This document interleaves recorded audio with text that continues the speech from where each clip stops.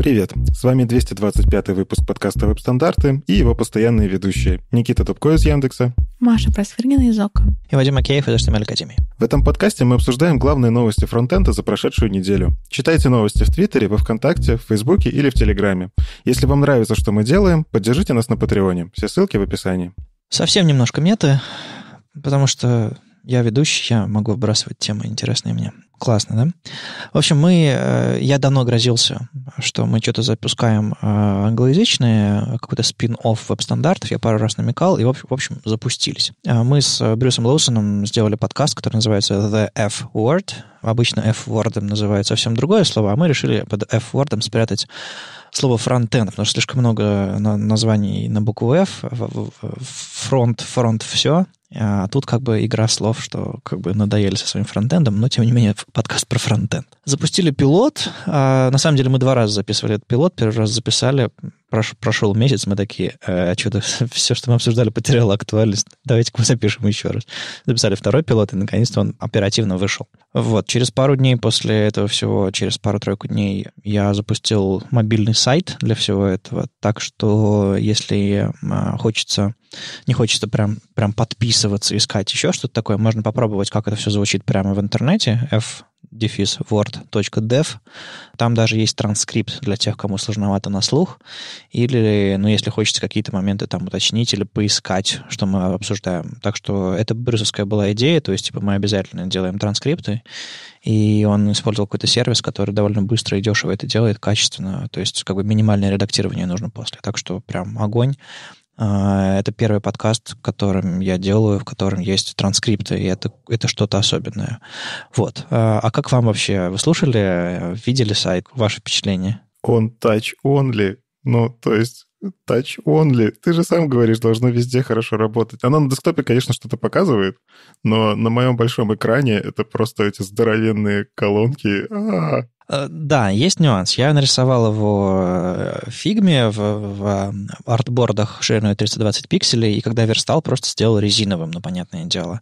И когда я продолжал рисовать его, я понял, что если мы запустили подкаст, я подумал, что транскрипт, который уже готов, и ссылки, которые уже готовы, и вообще, в принципе, возможность людям э, прийти в браузер, просто тыкнуть и понять, хотят ли они слушать это или не хотят, вместо того, чтобы там искать в подкаст-платформах, подписываться. Мне кажется, это важнее, чем десктопный сайт. Более того, на мой взгляд, в 2020 году, да, на самом деле в 2019, 2018, 2017, еще какое-то время назад, мобильные сайты запустить было важнее, чем десктопные. То есть, если у вас есть возможность запустить что-то прямо сейчас, сделайте мобильный сайт. На, на мой взгляд, это так должно работать, а не вот эту вот огромную десктопную фигню, которую на мобильном никто не сможет рассмотреть. Mobile first, ну, Серьезно. Ну, все, все сайты в интернете ты прежде всего, чтобы узнать что-то, открываешь на мобилке. Ну, не знаю, я чаще захожу все-таки за информационными ресурсами на десктопе, как ни странно. Мобилка у меня немножко для другого.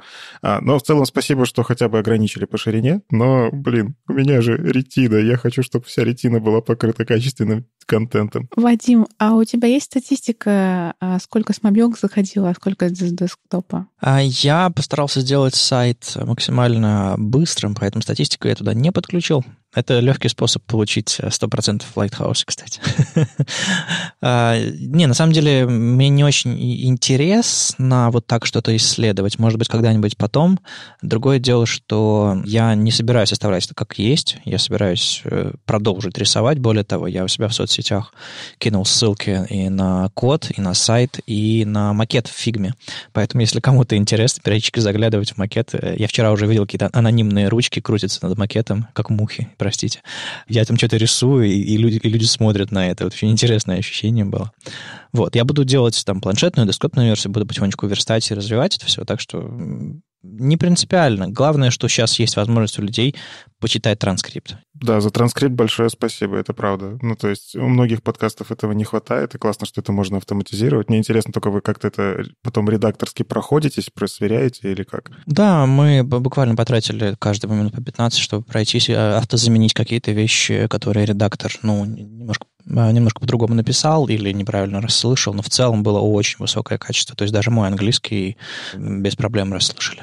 Значит, нужно и нам такое. Да, и давай запустим сайт веб-стандартов, и мы э, запустим э, транскрипты наших выпусков. Мне кажется, это будет круто. Договорились. А вообще, посмотрите на код F-Word. Это, собственно, актуальный код, который я написал там буквально на прошлой неделе. Мне периодически спрашивают люди, слушай, а ты что-нибудь, вот покажи код, который ты пишешь. Ну вот, типа, вот код, который я пишу. То есть там Eleven, э, генератор статики, а, скрипт, который я взял для переключения табов на внутренней странице. Я скрипт взял с uh, ARIA Authoring Practices. Там есть доступный скрипт для табов. Я пофиксил в нем ошибку с глобальными переменными, которые не работают в strict mode. Ну, ладно, это другая история. А в целом он написан в таком, знаете, в таком хардкорном э, стиле, там, пятилетней давности немножко. Поэтому, если вы хотите прийти и переписать файл tabs.js, ну, точнее, там, index.js, в современный модный ECMAScript, он потом у меня там, там транспилируется бабелем и сжимается терсером, приходите, помогайте и слушайте, самое главное, если вам интересно. Скорее всего, англоязычные выпуски, которые я когда-либо буду записывать в будущем, они будут выходить именно в F-Word, там, с Брюсом или нет. Ну, скорее всего, с Брюсом э, обычные выпуски, но если какие-нибудь типа, там поездки, интервью, то, наверное, F-Word. Есть пара событий, все онлайн. EPAM делает GetProf IT онлайн 22 апреля. Это будет э, такая конференция онлайн типичная, в котором есть Э, несколько докладов по JavaScript. Ну, ладно, два и вступление. Там э, разработка по TDD и веб-компоненты. Оба доклада ну, там в 11 и в 12. В общем, подключайтесь, смотрите. И там, кроме JavaScript, есть еще другие темы. Ну, в общем, небольшой онлайн-метап EPAM. Вот. А еще мы как-то опубликовали, публиковали у нас э, в новостях и обсуждали в подкасте даже мельком Тимура Шамсидинова, который в киевском КПИ ведет а, серию лекций по JavaScript, программирование на примере JavaScript. И он будет, он уже сделал один вебинар по Node.js, а, современному Node.js, типа Node.js в 2020 году. А, он сделал один вебинар 7 апреля, и будет еще, то есть запись уже есть на странице, мы ссылку дадим, и будет еще вебинар 14 и 21 апреля. Подключайтесь или просто смотрите потом уже записи. Ребята из JavaScript FV Days конференции а, организовали все это по следам конференции, которая там частично прошла онлайн, и вот сейчас продолжаются какие-то вещи, которые не случились в офлайне, но продолжают происходить в офлайне. В общем, такие события. Если у вас что-то онлайн проходит, э, приносите нам в календарь. Мы немножко переквалифицируемся в календарь вебинаров, но такова реальность сегодняшняя. Ну и к новостям браузеров. Мы уже каждый выпуск, кажется, обсуждаем Safari. И в этот раз э, давайте обсудим Safari Technology Preview 104. Там, на самом деле, ребята выкладывают уже, что смотрите, мы будем делать вот это, вот это, вот это. И там постепенно они начинают догонять другие браузеры в каких-то вещах. Но мне нравится, что они добавляют что-то новое. Например, как экспериментальную фичу они добавили HTTP 3, то есть уже можно в Safari тоже с этим поиграться. Да-да-да-да-да-да. Именно об этом я и хотел прежде всего поговорить, о том, что типа HTTP 2 уже, уже как бы... Уже старье, уже устарело. Кстати, вот у вас HTTP 2 это норма, ребят? А, а у тебя, Никита?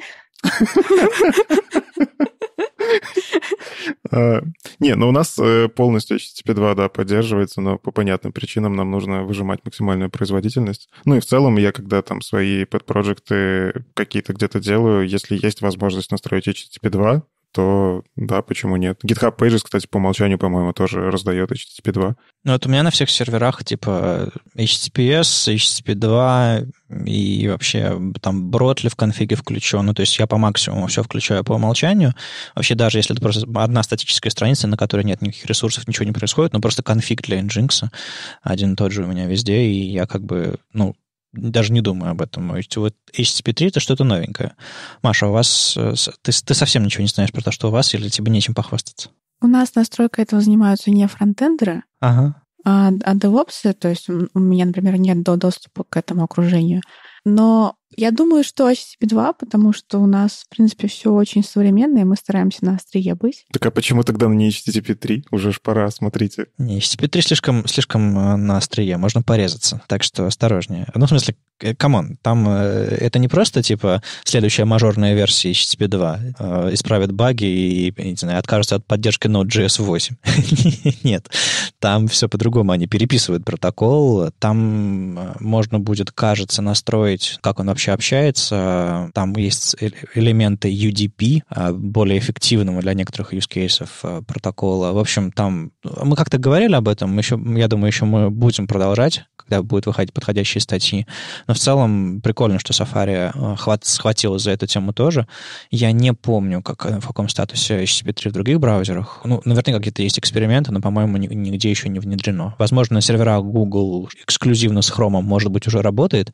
Они так со всеми протоколами делают. Сначала у них работает у них, а потом они уже, не знаю, всерьез внедряют. внедряют. По-моему, Chrome Origin Trials, вот это вот все, там уже было что-то такое. Я видел mm. какие-то такие новости, что там можно попробовать, но понятно, что это даже не в канарейке, ну, в смысле, это только через трайл. Окей, okay. ну, короче, очень интересно попробовать. Надо, надо поискать, есть ли какой-нибудь плагин для Nginx, который позволяет это включить, потому что поддержка нужна не только в браузере. Понятное дело. Вот, а так у них еще появился редактор для Box Shadow, который был, по-моему, уже там и, и в Chrome, и в Firefox. Вот, это хорошо, что они потихонечку внедряют. И селектор из а, тоже они поддержали.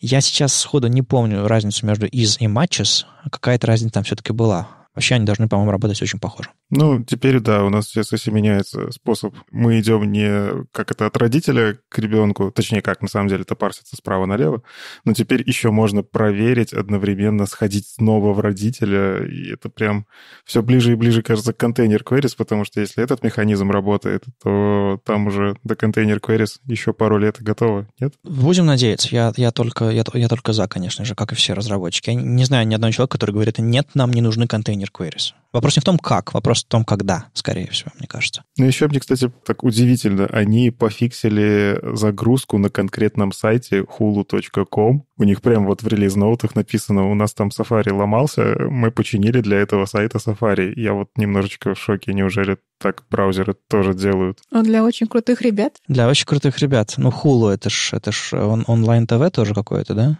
Да. Ну, в общем, понятно. Я думаю, если там при доле ОК в России, если вы придете к ребятам из Apple и скажете, знаете, у вас в Safari вот катастрофа какая-то у нас, и люди из-за этого, ну, не могут что-то делать, я думаю, они и вас в релиз-ноутах упомянут. Я сомневаюсь. Мне кажется, что российские сервисы, ну, не знаю, мне кажется, это скорее для своих, а не так. Ну, наверное, наверное. Все-таки Apple в России ограниченно представлен, да, то есть есть официальный Apple Russia, но, допустим, там Apple Store нет, и вообще бизнес ведется. Ну, как бы, понятно. Отношения Запада и России. Ой, это уже опять политика. Куда же нас все время несет? Давай, давайте к Хрому, Хрому, да. В Хроме ничего интересного. Ну ладно, чуть-чуть чуть-чуть. А, если вы используете PWA на десктопе, вы теперь можете показывать на своей иконке бейджик с э, счетчиком. То есть, допустим, 5 непрочитанных твитов или там 5 э, пушей в ваш мессенджер пришло. Это прикольно. То есть я десктопными PWA пользуюсь хромовскими только там для оптимизации картинок. Еще я засунул туда типограф лебедевский, он у меня запускается как отдельное приложение в отдельном окне с отдельной иконкой. Это тоже удобно. Так что для меня повода вот эти вот бейджики использовать нигде нет. Но я, может быть, попробую себе поставить, поиграть э, Twitter как PWA э, на десктоп, и там посмотрю, как эти бейджики будут там показываться. К сожалению, со всеми этими PWA запускается отдельный instance хрома, ну, то есть прям вот отдельный сидит иконка хрома в доке и ждет тебя. Было бы классно, чтобы без этого было, но это их способ пушить браузер. Но еще я не согласен с тобой, что тут ничего нету. Тут есть немножечко, ну так, полуреволюционных вещей. Они постепенно втаскивают себе в WebXR. Ну, то есть э, вот Apple у себя активно дополненную реальность втаскивает, и уже в Safari 13 э, как бы они всем анонсировали, пробуйте, играйтесь. И здесь уже, кажется, Chrome догоняет. Это тоже интересная ситуация. Ну, правда, они догоняют, потому что они свои вещи тестируют, наверное, более на комьюнити, чем мы вам сделали и пользуйтесь, что есть. И сейчас они как раз предлагают потестировать э, API для, я так понимаю, рейкастинга, то есть пробрасывания лучей вот в этом в виртуальной реальности.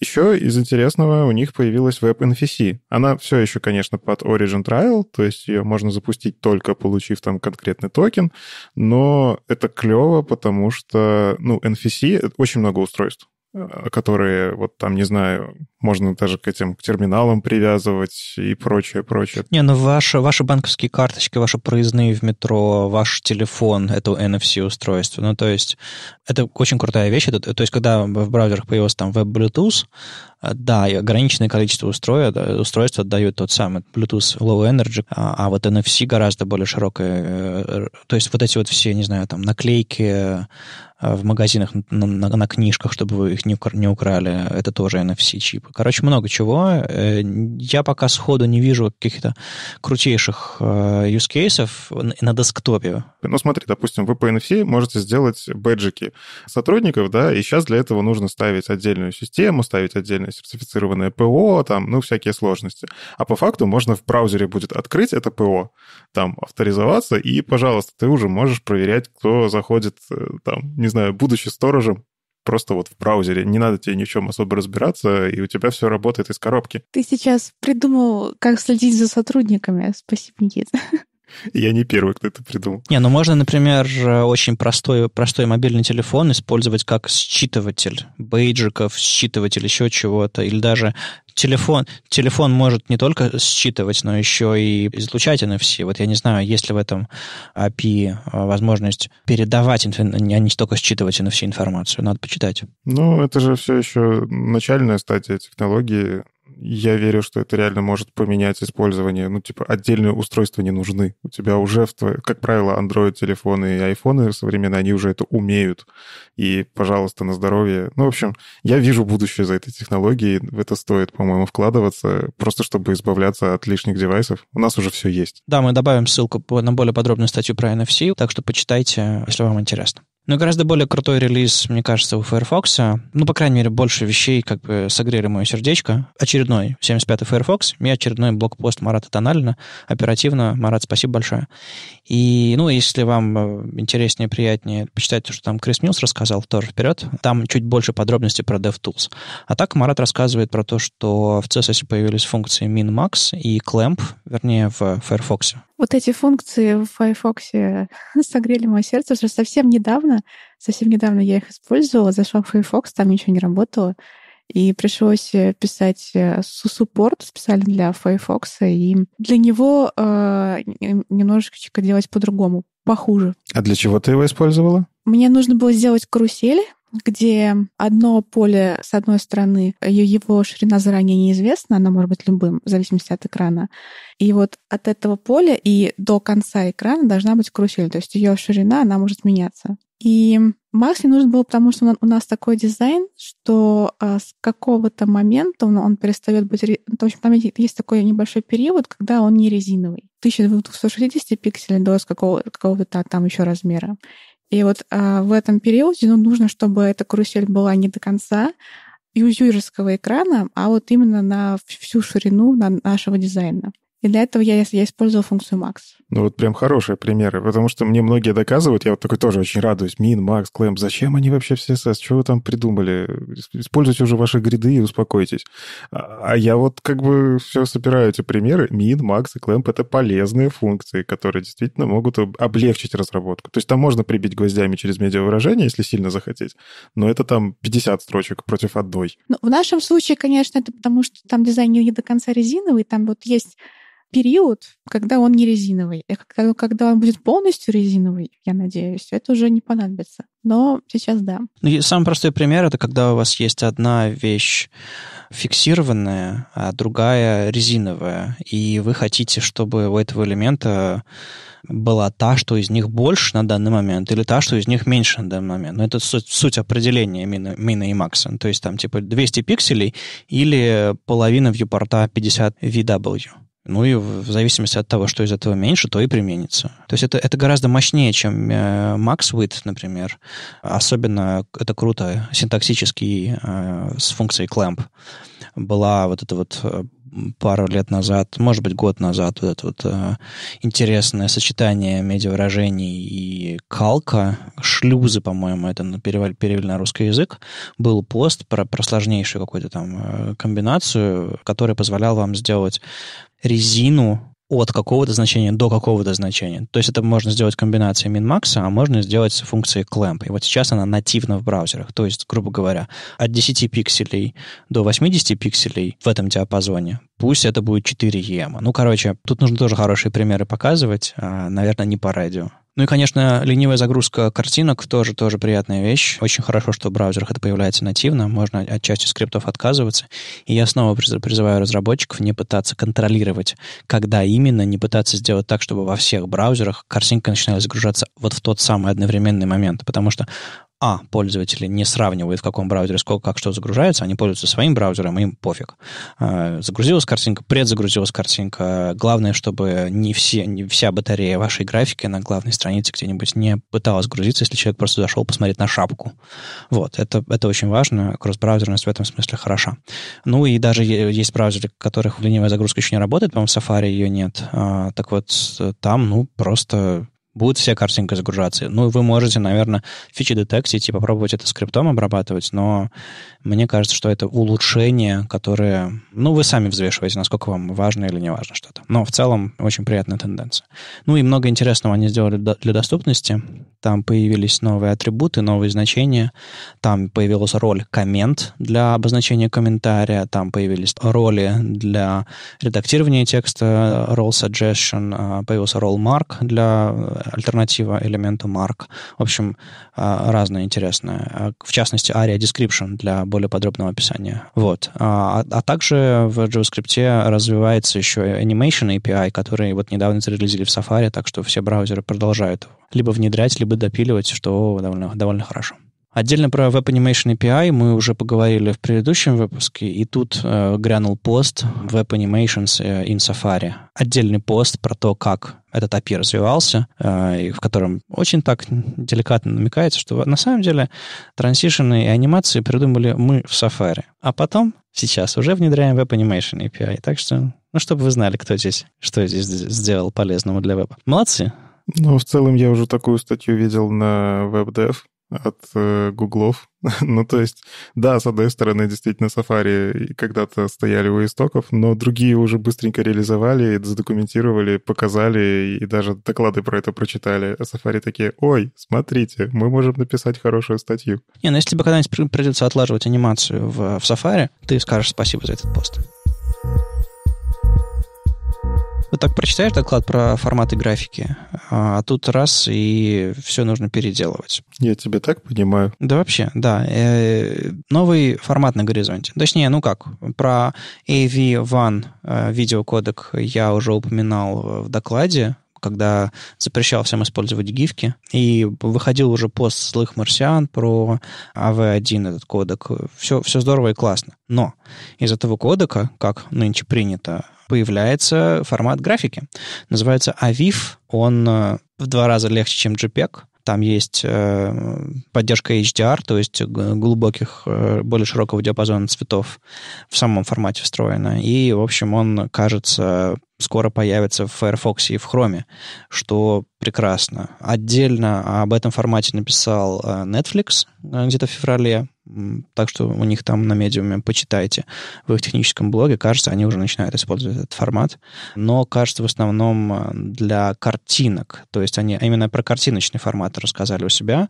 Маша, а у вас этот AV1 еще не используется, не знаешь? Он у нас точно еще не используется. Я думаю, Какие-то практические подвижки будут только тогда, когда он станет устойчивым к продакшену и в браузерах, и для кодирования, для декодирования и так далее. И кроме того, у нас же куча телевизоров, и я думаю, что пока это не станет ощутимым на телевизорах, в общем, в ближайшем будущем, думаю, нет. Это связано с тем, что телевизоры очень долго обновляются, так? И тем, что телевизор до сих пор имеет очень э, большой процент пользователей. Вот мы жалуемся, что у нас интернет Explorer, интернет Explorer, а вот люди для телевизоров разрабатывают. Там люди не могут обновить себе браузер при всем желании. Что встроено, тем и пользуйся. Тут очень интересные примеры. Сравнение AVIF с JPEG, когда один и тот же размер, к картинке, и ну, как бы можно посмотреть ее качество на примере. И AVIF гораздо круче. Гораздо-гораздо круче, чем JPEG. Ну, кажется, это в целом связано с тем, что у нас алгоритмы работы с видео все более востребованы. Раньше, ну, как бы интернет был другой, люди вполне себе, там, не знаю, гифка для них это уже было развлечение, картинка на сайте это тоже было вау. Ну, так особенно там. Кстати, интересно, а в Твиттере у Матиса, кажется, написано, что AVIF можно использовать э, эм, будет так же, как GIF. Ну, то есть э, это же, этот, этот же кодек можно будет использовать для изображений, у которых так же, как GIF, будет несколько несколько медиа-контейнеров, или как это называется, несколько фреймов. Ну, в, в, в этом, в Хейке, по-моему, тоже есть возможность зашивать несколько фреймов, и то есть это не будет не видео, а именно э, последовательность изображений. И вот с Авифом то же самое, там ави, Авифс, то есть множественное число от Авиф, Авифы, э, кажется, будет работать как GIF. Но не факт, что прям вот совсем как GIF, и не факт, что это будет суперэффективно, потому что в API тоже можно зашить анимацию, и эта анимация, ну, как сказать, ну, чуть-чуть получше GIF, но не то, чтобы я бы рекомендовал ее прям использовать. Ну вот интересно, если все... Смотрите, но все-таки, мне кажется, гифки, а, точнее, этот, вот этот формат гифок, он полностью не умрет, потому что пользователь его слишком любит. Пользователю не важно, что это гиф. Пользователю важно, что картинка меняется. Ты можешь подменить на MP4, и никто особо не заметит. MP4 на телефон сложнее сохранить, чем гифку. Ну, с сохранением это правда, но не знаю, я обычно не сохраняю на телефон. Если там тот же самый мессенджер, то в нем уже у тебя сохранены твои гифки, которые ты чаще всего используешь. И ты их там используешь. Ты не знаешь, какой там формат, хотя по факту это видео. Да, но, например, в Твиттере мне иногда хочется, я открываю с телефона какой-то твит, там видео. Мне хочется его сохранить, и, блин, это вообще непонятно, как это сделать. Ви- видео в Твиттере сохранять очень сложно, это правда. Я делал, и там надо лезть прямо в HTTP, в Network, вот это все, но они это, видимо, делают специально. В общем, поэтому мне кажется, что видео, получается, оно имеет меньше... Э, пользователь будет его меньше распространять, поскольку он не может себе его сохранить и скинуть друзьям. А гифку он может сохранить и скинуть друзьям. И вот интересно, если вдруг какой-то из новых кодеков сделать нечто похожее на GIF, и это будет использоваться, будут ли это называть гифками? Я думаю, гифка — это давно уже жанр. Я, собственно, говорил похожие вещи у себя в докладе э, про графику, что э, не пытайтесь привязаться к формату графики. Это давно уже жанр, то есть э, последовательность плохо выглядящих смешных изображений. Это может быть в любом контейнере, в любом формате.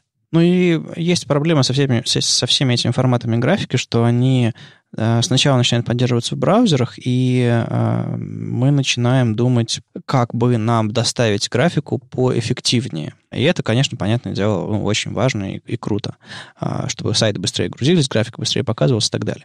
Но когда начинает идти, заходить речь про то, как с этой графикой можно взаимодействовать, как там ее скачивать, как там ее там копировать, пересылать и так далее, тут мы, мы начинаем опираться в то, что операционные системы не всегда быстро подхватывают, не, не быстро обновляют быстро добавляют поддержку этих всех э, форматов. То есть там WebP уже больше 10 лет. Но я до сих пор не могу нормально открыть картинку WebP на macOS. Просто не могу. Ну, то есть она еще и не поддерживается в Safari, понятное дело. То есть, по сути, нет поддержки этого формата на уровне операционной системы. И она просто валяется как такой бинарник. Я такой, э, ну как же мне тебя открыть? Как же мне тебя открыть? И вот непонятно.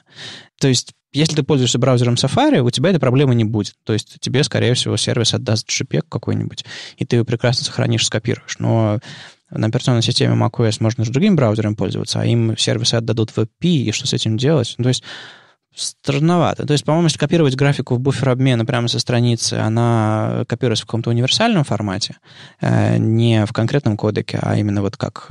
Нет, к сожалению, проверено на практике. Ну, да? например, э, даже возьмем Telegram, который там же внутри, по-моему, тоже веб-технологии заиспользованы, то у них, ты если копируешь медиа, ты не можешь его никуда особо вставить, потому что это VP. У них по умолчанию все картинки VP очень эффективно сжимаются, то есть они действительно экономят трафик, и спасибо им за это.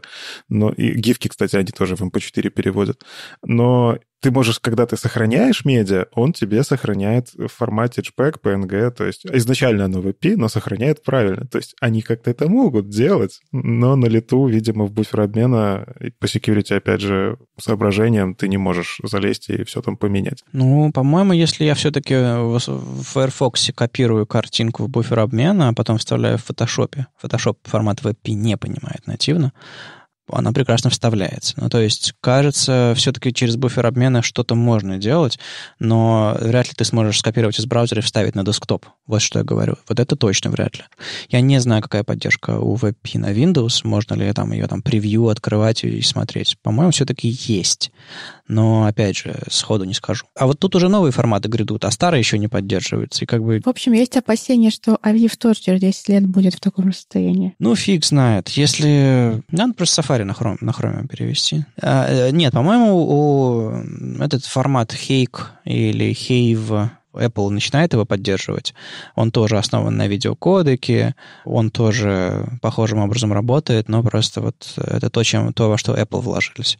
А вот если они не поддержат AV1, то будет, конечно, грустновато. Но надо посмотреть в, в интентах подробности про то, собирается релизить это все Safari или нет, и на основе этого уже делать выводы, насколько внедрять. Ну, то есть всегда можно вставлять кучу форматов через элемент Picture и как бы вперед, но да, такого же счастья, как когда-то у нас было, не знаю, с JPEG, PNG и GIF, типа просто везде поддерживается.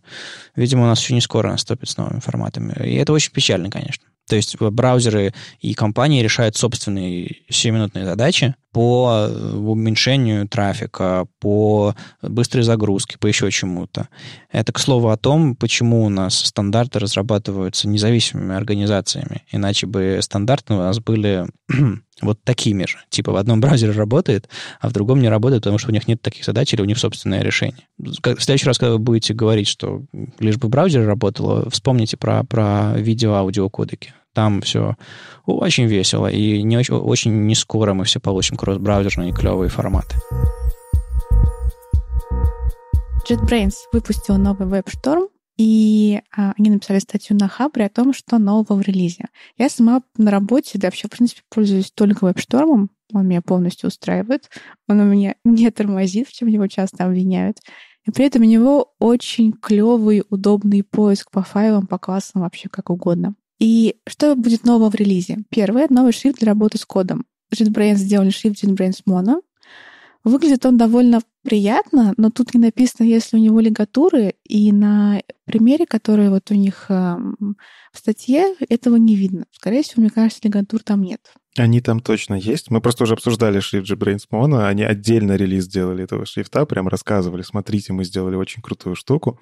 И на самом деле у меня в WebStorm на работе тоже стоит JetBrains Mono с лигатурами. Мы уже с Вадимом обсуждали, что лигатуры нужны, не нужны. Я остался при своем мнении, что нужны. Я тоже. Ты тоже остался при мнении, что нужны? Нет, что не нужны. Это профессиональный выпендрешь, мне кажется, а не полезное что-то для...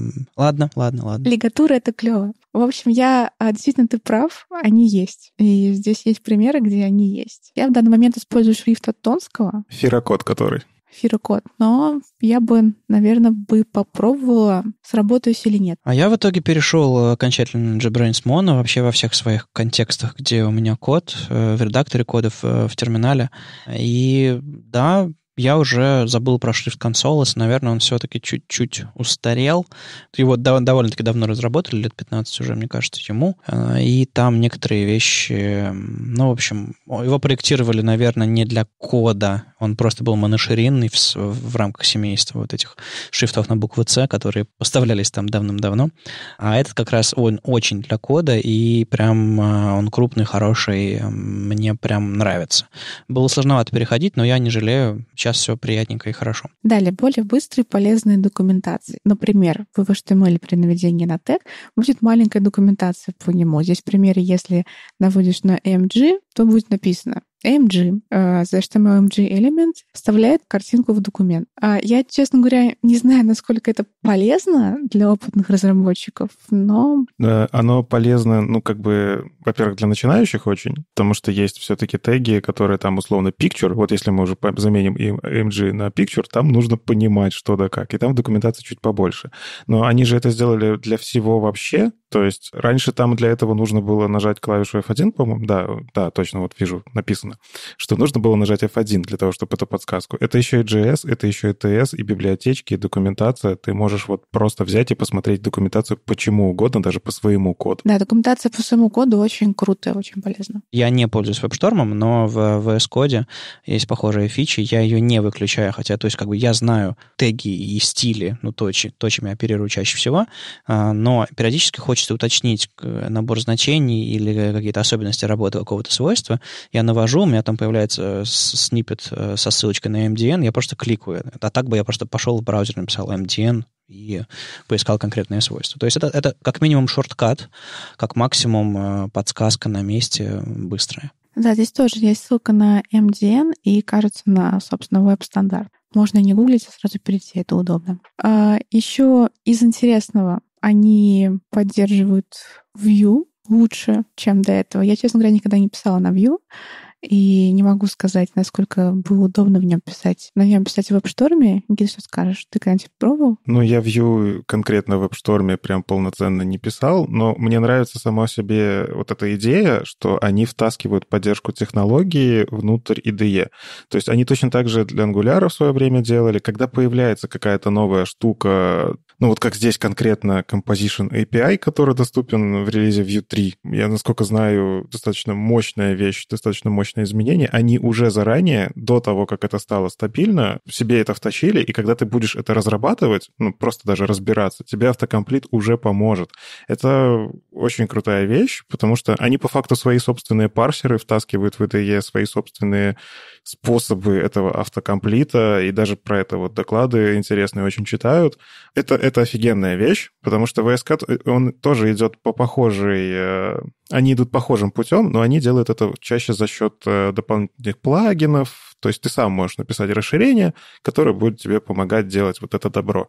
А здесь WebStorm, он такой комбайн, который сам уже в себя это встроил. Они следят за тем, чтобы вот эта технология используется часто, значит, наши разработчики с этим работают, давайте сделаем их жизнь лучше. И, по-моему, это обалденно. Ну и, к слову, как сделать вашу жизнь лучше, если вам чего-то не хватает в продукте JetBrains, у них есть возможность завести issue в их э, трекере и посмотреть, что, что грядет скоро, какие там вопросы и, и мнения разработчиков по поводу внедрения каких-то фич. Короче, а, они слушают сообщество, а, можно там на хабре комменты поставлять, там довольно оперативно а, отвечают. Екатерина которая, собственно, этот пост написала, и просто зайти в трекер и посмотреть. Ссылку дадим. Далее, теперь при сохранении файлов запускается претер, автоматически. Даже если ты не хочешь. Ага. Я думаю, это можно отключить. Да, там есть галочка. Убрать ее можно. Точнее, ее сначала вообще нужно поставить для того, чтобы притер запустился. Да, я шучу. У меня просто на днях коллега говорит, я тут все форматировал у себя в веб-шторме, э, новый код, вернее, старый код, который мы сейчас пытаемся перевести в нужное состояние. Я прихожу и смотрю, как он отформатировал HTML, и думаю, друг, что-то у тебя не то. Я не верю, что ты, что ты, ты мог так отформатировать. Он говорит, ой, да, что ты редактор какой-то фигни наделал. Короче, автоформатеры, осторожнее с ним, ребят. Так это претель так отформатировал, не более какой-то другой? Я не знаю, кто это отформатировал, но мы, мы, мы решили, что как бы мы не будем это обсуждать, просто я ревернул некоторые изменения. А я считаю, что это полезная штука. Теперь, ну, типа, не надо тебе отдельный вотчер держать в отдельном потоке, а прям вот там, где ты разрабатываешь, там же у тебя это работает. Я говорил, что я не против претера, хочу его попробовать затащить, поэтому, Вадим, ну, сорян. Мне кажется, очень клево. Ты просто не видел, что он сделал с HTML-кодом. Если бы ты увидел, ты бы... А я видел, что он делает с HTML-кодом. Я уверен, что в вашем случае был либо не претер, либо он был настроен немножко некорректно. Ну, то есть претер мне нравится какой. Я попробовал, реально попробовал, и он там классно атрибуты выравнивает. Меня вполне устраивает. Так, мы про WebStorm говорим, не отвлекайся отвлекайся. Меня удивляет, что есть люди, которые не используют претера до сих пор. Привет, Маша, я существую. А, далее, а, грамматические и стилистические ошибки. В принципе, это уже было в веб-шторме, я замечала, когда пишешь а, название переменной и пишешь его с ошибкой, то он тебе подчеркивает и указывает, что это неправильно. Но, как я понимаю, теперь это стало более широко, и теперь, когда пишешь комментарии и пишешь их с ошибками, на английском языке, то он их тоже подчеркивает. Я полагаю, речь не о том, что ваши переменные глупые названия, а по... речь, о... речь о том, что э, там чисто орфографически не по словарю ан- английскому. Да, я про это и говорю, да, да. Да, э, но вот э, бывает еще, что ведь какие-то строки зашиты в документ. Э, эти строки, по-моему, они тоже умеют проверять. И там где-то, по-моему, есть возможность подключить русский язык, например, что крайне ценно. То есть я пытался в свой VS Code, например, притащить расширение, которое проверяет язык. Сначала поставил расширение, потом долго пытался поставить к нему язык под русский, а потом, в общем, я подумал, да ну к черту, все, лучше буду проверять на уровне сборки какие-нибудь там, не знаю, я спойлером. Но мне кажется, что на русском все более-менее нормально пишут, а на английском чуть похуже. Ой, Маш, ой, Маш, нет, нет, по-русски все пишут очень плохо. А, просто не все замечают. И из удобного теперь можно для отдельного файла, когда совсем не, не открыт WebStorm, и нужно открыть именно один файл. Не, не нужно открывать целый проект, а можно этот один файл открыть в... Э, в S-коде. В WebStorm. Но э, это режим White Edit, и я им не пользовалась, но я подозреваю, что здесь как раз э, все настроено для того, чтобы он запускался наиболее быстро. То есть плагины не загружаются, не загружаются всякие там чекеры, не фетчится твой гид-репозиторий, и вот это все. Ты просто хочешь, хочешь открыть один файл, да? Да, да. И э, мне кажется, что когда загружаешь весь проект, то очень много времени выделяется на то, чтобы его проанализировать. А здесь этого не происходит. Для меня это прям круто, потому что до сих пор нужно будет открывать, ну, либо в VS Code, либо чаще я это делала в Sublime, отдельный файл открывала. Мне это не нравилось, потому что мне хотелось видеть привычный интерфейс. Я каждый раз, когда мы говорим про WebStorm, для меня главная проблема. Я не хочу ставить Java на свою операционную систему. Вот, ну, вот не хочу. Почему? Что ты имеешь против Java? Потому что это дырявое ведро. Ну, у тебя же уже есть Java скрипт. У тебя в два раза больше, чем нужно. Никита, нам нужно поговорить. Очередной пост Андрея Ситника называется как, не знаю, «Апокалипсис грядет». Он называется PostCSS 8 is coming. Андрей анонсировал работу над PostCSS 8, потому что PostCSS 7, когда он последний раз обновлялся, я уже даже не помню, там год назад или пару лет назад. Давненько, давненько не было. И, видимо, ну, Андрей занимался лагаксом, и чем он там занимается в «Злых марсианах» или каким, каким open-source. Браузер-листом, лагаксом, чем-то еще, ну, понятно. А PostCSS работал, работал. Куча инструментов им пользуется, он их все перечисляет, ну, то есть там webpack, автопрефиксер, stylint, там, при, при CSS. Ну, это даже не все инструменты, это скорее use cases. Это стало таким очень хорошим дефолтным вариантом написать какие-то плагины или распарсить, обработать, обработать CSS. И все им пользуются, но проект как бы он висел на поддержке сообщества, и не всегда были, была большая заинтересованность разработчиков э, посвящать ему какое-то свое время. И тут они на Open Collective собрали денег, Tailwind э, им денег подкинул, э, если вы не знаете, что это такое, и хорошо. И ребята обещают новый релиз. Они там собираются уменьшить размер папочки Node Modules, это последнее время тренд. Все разработчики, ну ладно, многие разработчики об этом начинают говорить, типа, мы не хотим занимать гигабайт места на вашем диске. Спасибо за это большое. А, они собираются там улучшить скорость, добавить новые API там, для плагинов и прочее, прочее, прочее. То есть решить какие-то проблемы, которые были по CSS. Одна из них, в частности, это интеграция нескольких плагинов вместе. Кажется, эта ситуация будет улучшаться. Ну и а, отдельно мой фаворит, такой highlight этого поста лично для меня — Потому что, да, нам пора запустить новый сайт, говорит Андрей. Наш э, сайт клевый, э, написан на React е, все здорово, но как бы для статического сайта, у которого большинство ссылок в меню это ссылки на внешние сайты, там, на GitHub, на всякие отдельные проекты, которые, по сути, просто показывают какую-то красивую витрину. Загружать 800 килобайтов JavaScript — это чересчур. Меня это особенно порадовало. Ну, во-первых, это в тренде. Сейчас все потихонечку выпиливают свои э, лендинги на React, слава богу. Во-вторых, я просто помню, как этот сайт запускался. В нем поучаствовали многие ребята из русскоязычного сообщества. Я помню, как э, радостно его запускали всем миром. Типа, так, на чем запускать? Ну, конечно же, на React, потому что это был было трендово тогда, и до сих пор это остается трендово. И типа, да, давайте сделаем вот это, вот такой модульный подход, вот это все. И в итоге это все вылилось в реальный 800 килобайтовый кусок JavaScript, который загружается для того, чтобы показать лендинг. Лендинг, на котором ничего не происходит. Ой, слава богу, времена меняются, и э, люди начинают думать о перформансе, скорости и вообще адекватности собственных решений. Не то чтобы все, не то чтобы это какой-то прям массовый тренд, но люди, которых слышно, видно, могут помочь этому тренду стать больше, шире. Так что спасибо. А, я надеюсь, они перепишут на что-то статическое. Еще в посте описано, что, точнее, такое маленькое предупреждение. Вот этот новый обход по дереву становится теперь по факту рекомендацией, что именно так и надо делать. И через какое-то время старый способ подключаться к этому обходу, он станет deprecated.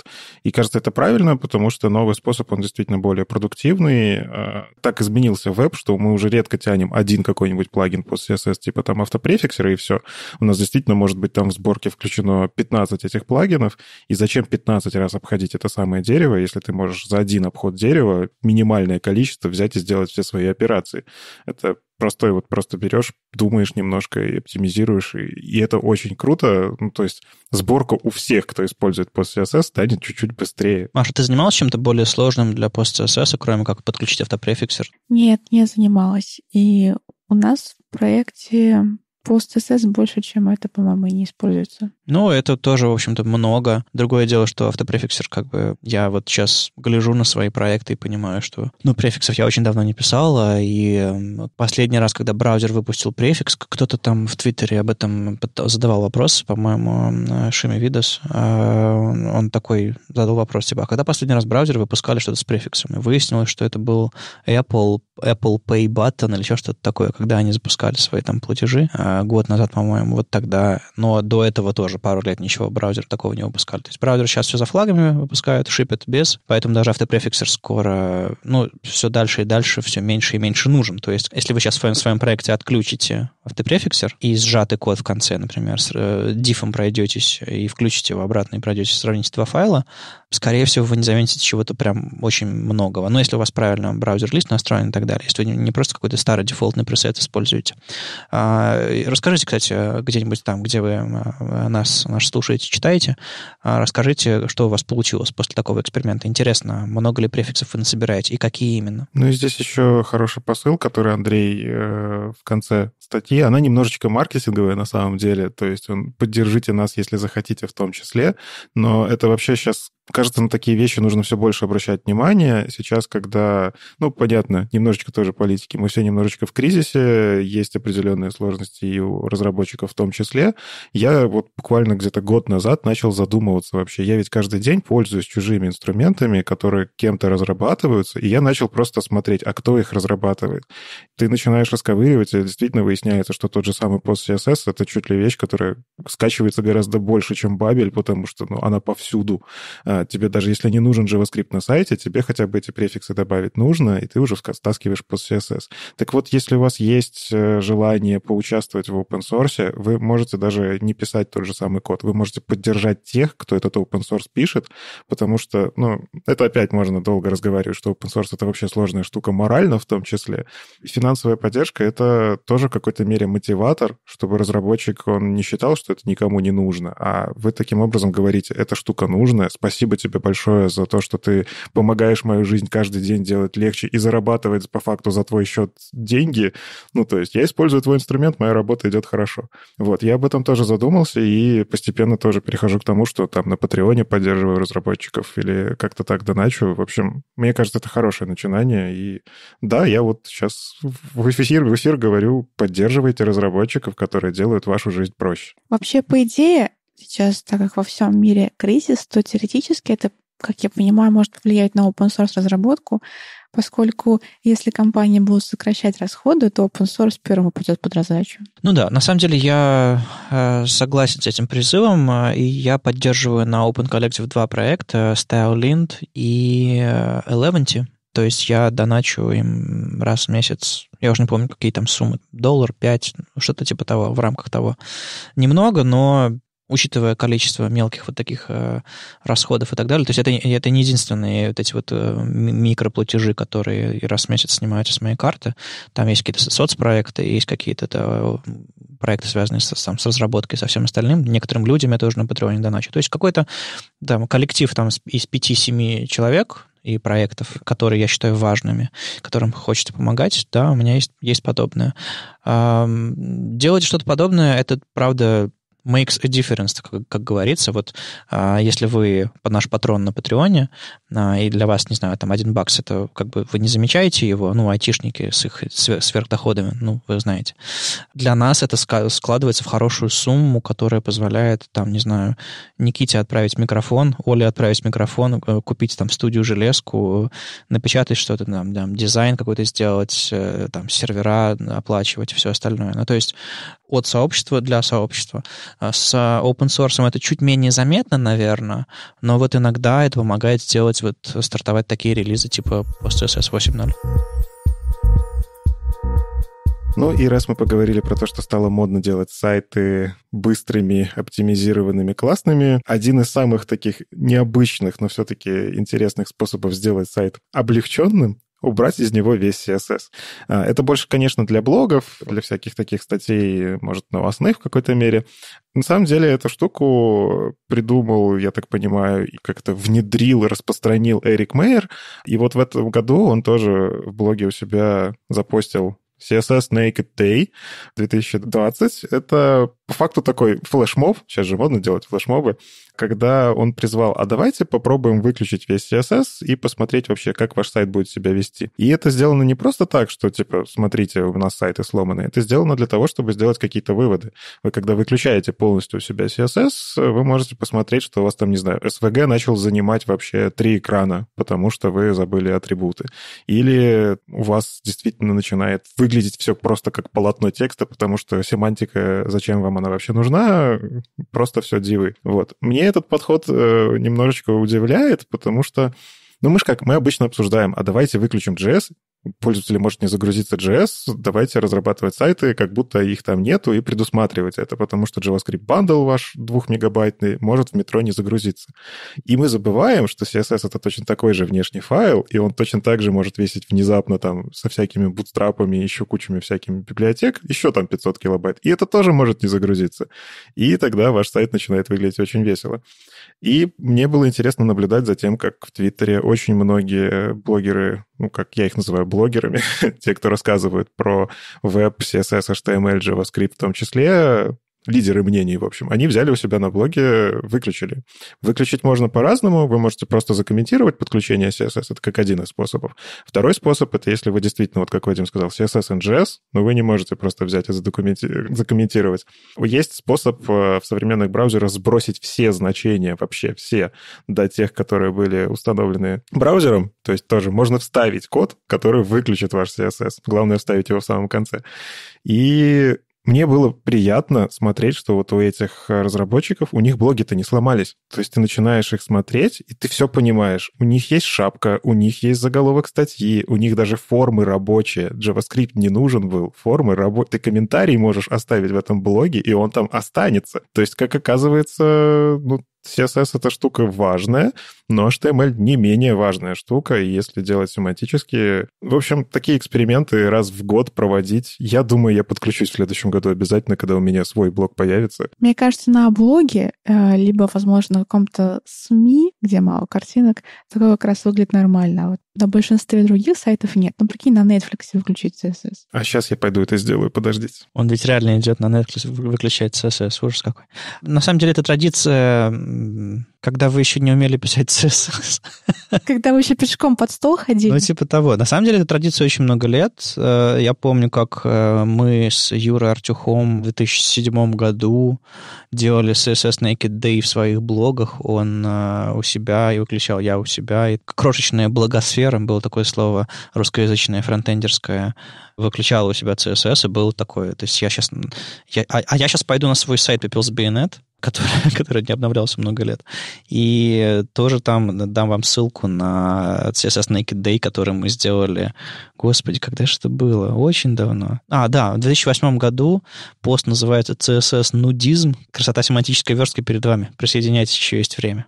Класс. Правда, а, оригинальный сайт Dustin.ds лежит. В общем, история, но, но интересная. Я сейчас не стал бы это делать, потому что доказывать кому-то, что у меня адекватный HTML, ну, я, наверное, не буду, я просто знаю это. Ну, как бы я уже наигрался в эту игру. Я вернулся с Netflix. На самом деле прикол в том, что видео продолжает играть, ну, то есть его даже смотреть можно. Но, слушай, CSS не должно влиять на видео. Ну, как сайт выглядит? А сайт выглядит как странная сеточка картинок, причем, кажется, расположенных рандомом. Я не очень понимаю, почему. Я же CSS выключил, и у них все SVG-иконки, их тоже распределяют выпячивало очень сильно. Но это белый сайт, на котором много-много-много картинок. Ну вот у нас бы выглядело примерно так же, и иконки тоже бы распипячил. Ну вот, кстати, э, что ценного в, в этом отключить CSS, если ты в своем блоге поиграешь и расскажешь, напишешь об этом пост, да, это даст какой-то э, повод людям подумать.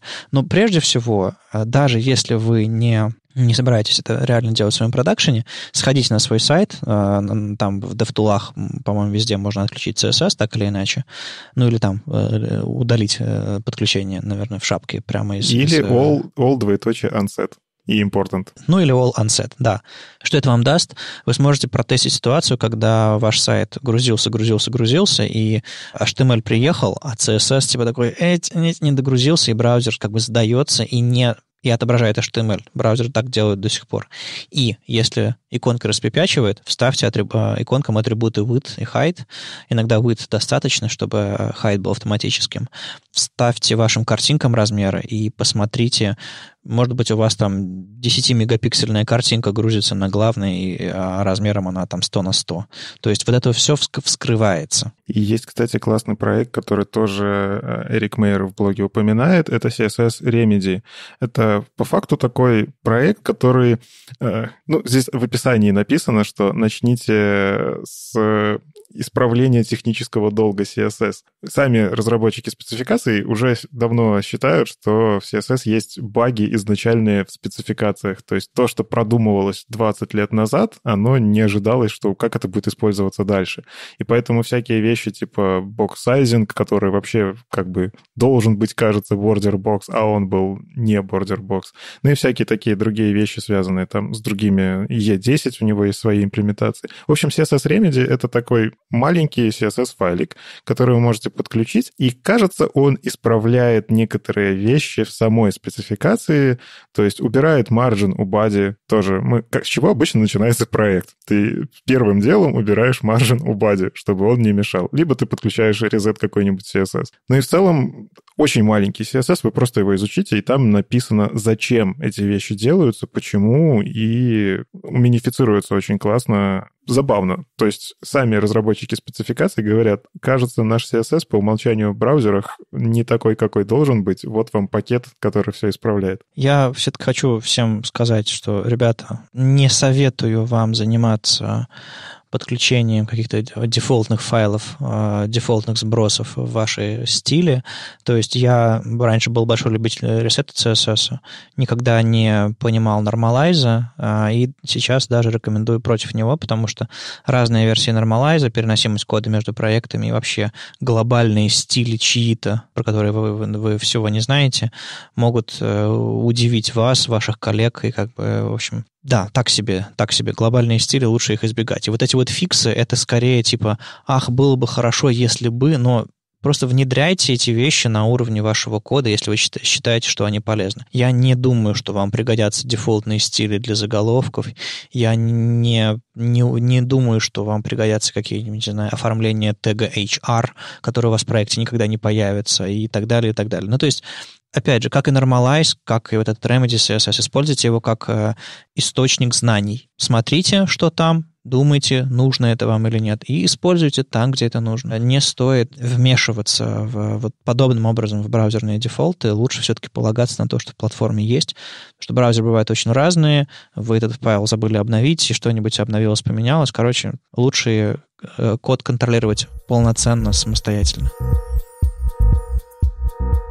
Ну и на этой неделе астрологи объявили неделю темных тем. Целых три статьи вышло про темные темы с разных сторон, и самая такая обсуждаемая — это то, что Stack Overflow, на Stack Overflow наконец-то появилась темная тема. Почему наконец-то? Потому что просили эту тему пользователи очень-очень давно, еще до того, как это стало трендом, уже тогда, типа, давайте добавим. И большинство пользователей, на самом деле, есть уже готовые расширения для браузеров, которые все это вам ставят, или вы можете кастомный CSS подключить. Ну, в общем, уже пользователи давным-давно решили эту проблему, но Stack Overflow посмотрели, ну, как бы, раз надо, раз это тренд, давайте тоже это сделаем. И интересно то, что статью это вообще написал, я так понимаю, дизайнер. Это, ну, то есть дизайнер со знаниями разработки, CSS и всего прочего, но он откровенно вот пишет, что я ходил к разработчикам, консультировался, мы вместе с разработчиками делали. И по факту статья не то чтобы рассказывает какие-то откровения, просто дизайнер Аарон Шеки показывает, что у них были определенные проблемы, связанные с этим переездом, как минимум ту же самую палитру нужно продумывать правильно. Вы не можете взять, просто инвертировать, и у вас будет подходящая палитра. Нет, оно тогда все начинает выглядеть совсем по-другому. Абсолютный черный и абсолютно белый на нем, ну, это такое вырвиглазное, выжигающее глаза. С этим тоже нужно быть аккуратно. И он показывает, вот как он шел с выбором цветов, как это все долго разрабатывалось, а потом это все нужно было еще и внедрить. И мне на самом деле интересен подход, который они внедрили. Я тоже в Твиттере видел обсуждение того, что, блин, как, как так можно делать? У вас цвета вообще неправильно, не семантично. Из разряда у вас white, переменная color white, она, простите, 000, ну, то есть она черная. А в статье это, кстати, объясняется. Дело в том, что Stack Overflow у себя в своей дизайн-системе использует оттенки цветов. То есть если у тебя, например, есть красный, он как базовый red берется. А затем при помощи чиселок ты указываешь, что red 200 — это вот там на 200 чего-то светлее. Ну, я так понимаю, это абсолютно э, светлый red.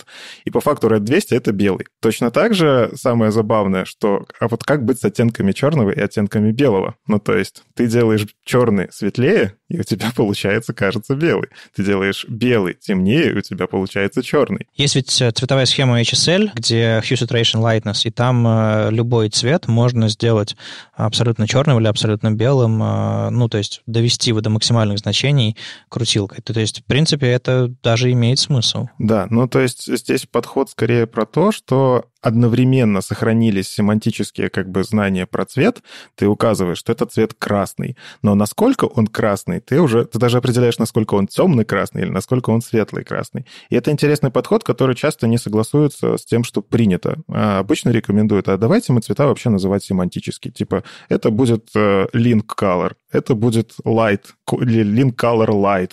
И вот такие вот вещи. И я сам, на самом деле, такого подхода придерживаюсь. Мне кажется, это ну, это удобно. Ты меняешь только для ссылок, и оно начинает работать. Но... Да, но потом возникает ситуация, когда дизайнер решает этот link color использовать не на линк, а где-нибудь еще, и ты такой с болью этот link color ставишь куда-нибудь, где вообще не линк. Да, и цвет, красишь заголовок в цвет link color, и получается какая-то абсолютный бред.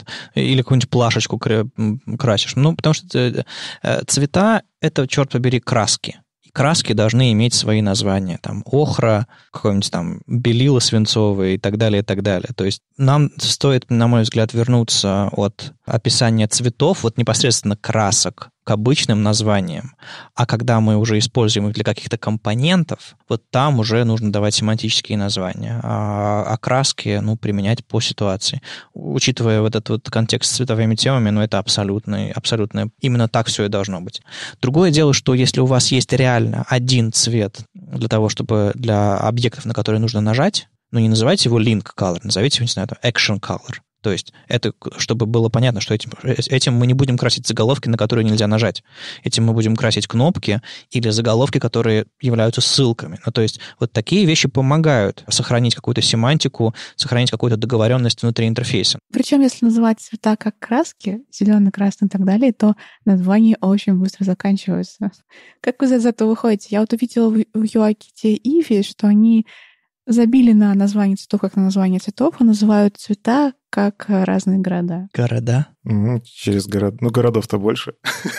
Э, ну, там какие-то то ли города, то ли страны, то ли что-то подобное. На самом деле у цветов огромное количество названий, плюс можно отдавать им на цифровые вот эти вот все вариации оттенков, прозрачности, всего остального. Так что, ну вот просто сходите в палитру именованных цветов, и, или, допустим, не знаю, есть ли у Яндекса этот колдунчик с, с цветами до сих пор, может быть, его уже отпилили? Есть, все еще работает. Все еще работает. Там огромное количество названий цветов, поэтому, мне кажется, разработчиков Иви просто кончилась фантазия, а, или они не знают всех, э, всех э, прекрасных названий цветов. А не возникнут ли потом споры цвет ахры — это вот этот или вот этот?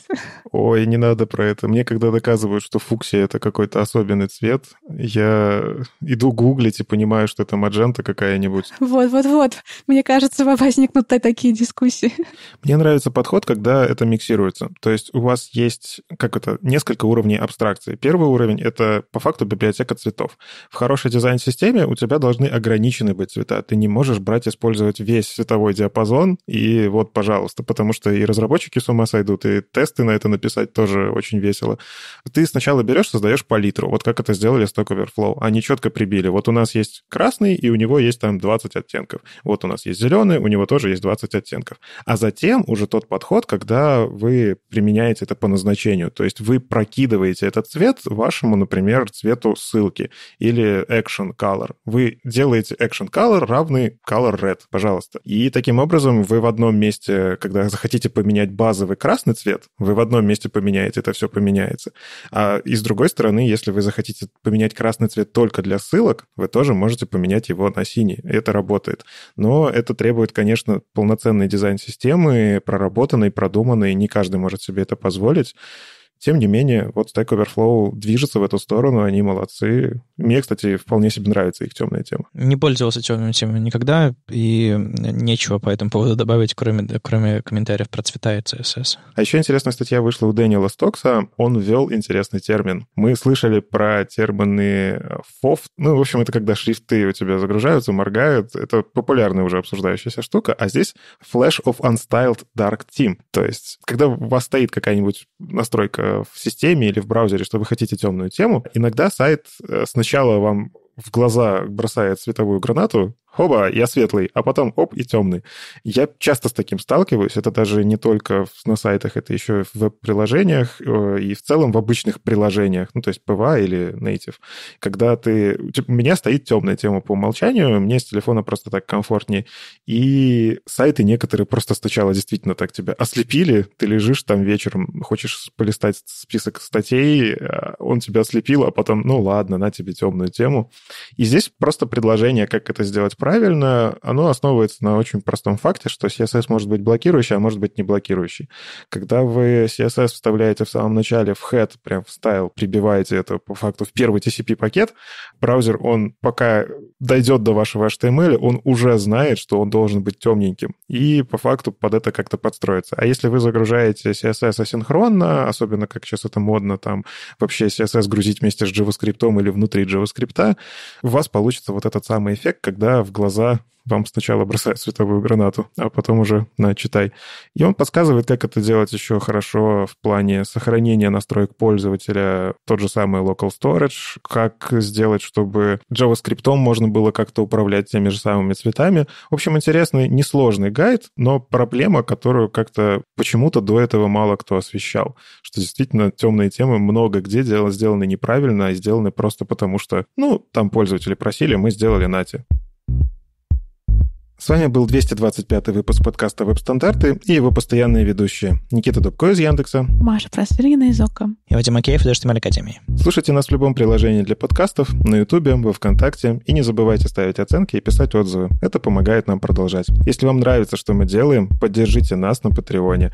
Все ссылки в описании. Услышимся на следующей неделе. Пока. Пока. Пока.